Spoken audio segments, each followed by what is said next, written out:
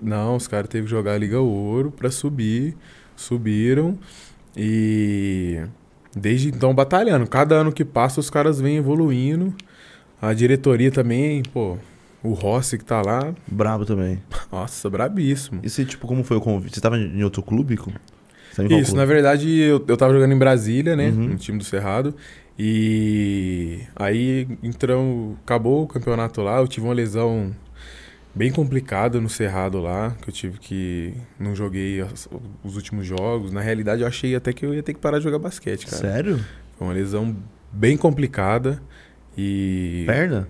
Cara, eu tive um, um estiramento muscular e bem intenso. Caí, escorreguei na quadra, caí de perna aberta lá, Nossa. fodeu tudo. Aquele espacate brabo. É. E aí o sangue acabou descendo pro posterior da coxa e calcificou. E aí vira tipo um osso, uma pedrinha lá, né? Então isso estava me, me incomodando demais e eu fiquei muito tempo sem saber o que que era, né? No médico aqui, um falava outro e tal. Até que eu vim para São Paulo, né, consultar com o Dr. Andreoli, que é o médico da seleção brasileira. É, e aí ele falou, cara, eu já tive um caso que eu tô achando que é miosite ossificante. Exame sim, falou, meu, faz um raio-x lá. Fiz o raio-x e falou, cara, é isso.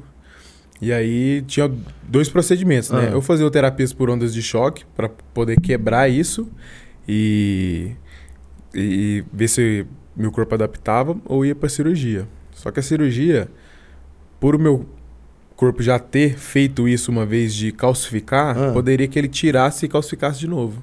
Ah, entendi. Aí eu falei, não, vou fazer terapia por ondas de choque. Só que a minha lesão tava a 11 centímetros da, do, do- Do- da pele, Ah, né? Nossa, E então o- imagina um choque. E o laser, Ah, né, a, a onda de choque chegava a 8. Não ia chegar lá no ponto. putz, e aí? E eu falei, meu, e agora? Falei, meu, quer saber? Ah, meu corpo vai ter que adaptar isso aí, irmão. Esses 11... Liguei pro meu fisioterapeuta que acompanha minha carreira de sempre lá, o Vina, é, fisioterapeuta do Galo. Do Galo, sabe, Vina? É, seleção brasileira, foi fisioterapeuta do Varejão no- na NBA, maluco. Varejão, caraca, mano. É, então eu falei, cara, meu corpo vai ter, que adaptar. Fui passando os exercícios com dor, fui indo até chegar no São Paulo. Eu falei, cara, eu preciso ir pra um time que. que eu, que eu não preciso jogar os 40.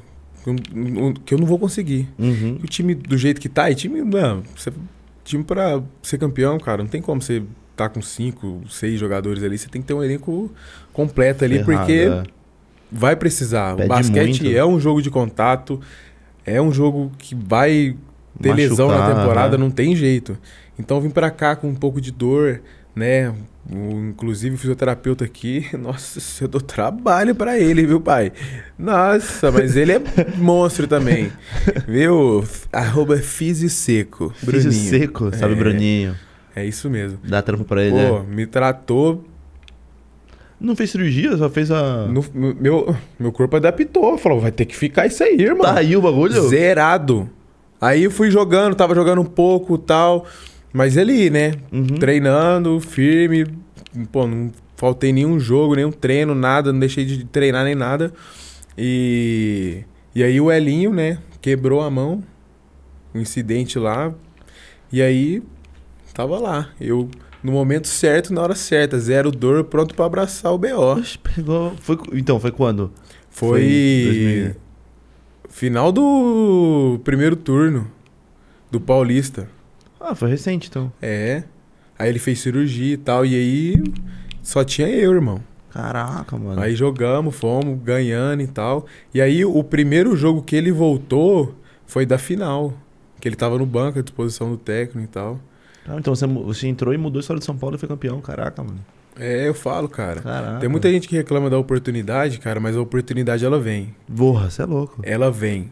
Mas aí é que eu falo, tá preparado, pai? Entendeu? Nossa. Desde quando eu virei profissional. Desde quando, né, quando eu jogava no Palmeiras aqui. Dez anos atrás, meu. é, quando eu comecei no profissional, né? Hum. Tinha 17 anos, basquete Palmeiras voltando, jogando Campeonato Paulista, neto de técnico. E os dois armadores que estavam na minha frente, que já eram adultos, lesionaram.